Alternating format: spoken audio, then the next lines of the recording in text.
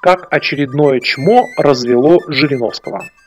Хочу, ребята, рассказать вам об одном негодяе, который не сходит с экранов российских телевизионных каналов.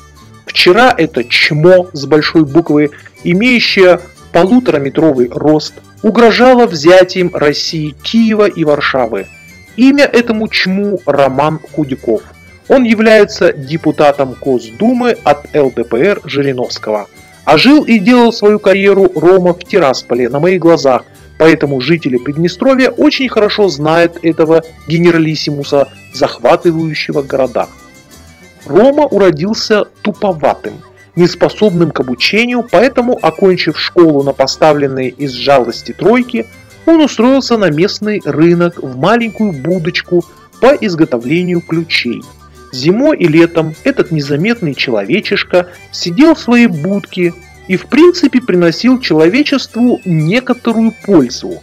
Но тут, в один из осенних дней, Приднестровье решил посетить Жириновский. Надо отметить, что со времен СССР московские бонзы посещали Молдавию именно осенью, чтобы попить свежего молдавского пива. И тут настал звездный час для нашего героя. Он решил встретить Жириновского хлебом и солью. Для этого Роме понадобилось потратиться. Он закупил около 20 кепок, на которых большими буквами написал ЛДПР. Ну и гениально решил проблему с людьми, которые эти самые кепки должны были одеть.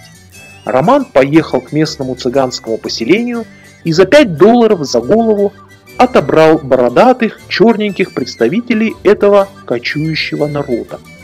Я просто видел эту встречу Жириновского со стороны, мы умирали со смеху, когда цыгане, изображающие счастливых приднестровцев, заучено кричали, путаясь в фамилии, то Жарановский, то Владимир Вульвович и так далее. Запахи от кочующих цыган распространялись за квартал, и если бы Владимир Вольфович уже не врезал бутылку коньяка за 400 долларов, то идея такой торжественной встречи, несомненно, бы провалилась. А так нет, все прошло на ура. Российский вождь его заметил, и через месяц у Ромы появился большой просторный офис в самом центре города и новенькая BMW с большущими надписями по бокам ЛДПР. Следующие несколько лет Худяков успешно доил местный бизнес – якобы представляя крышу ЛДПР от милицейских побоев и поборов, которые всегда были и есть в Приднестровье. Ну а потом по списку ЛДПР перебрался в Москву, где уже на новом уровне крышует российских, бесхозных в кавычках бизнесменов. Согласитесь, ребята, все эти посланники рудского мира на удивление похожи.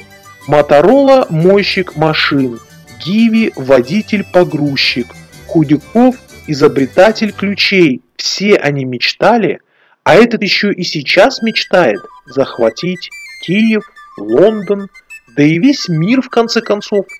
Вот эти неандертальцы, не прочитавшие за свою жизнь ничего, кроме журнала «Мурзилки», лезут к людям 21 века со своей грязью и тупостью.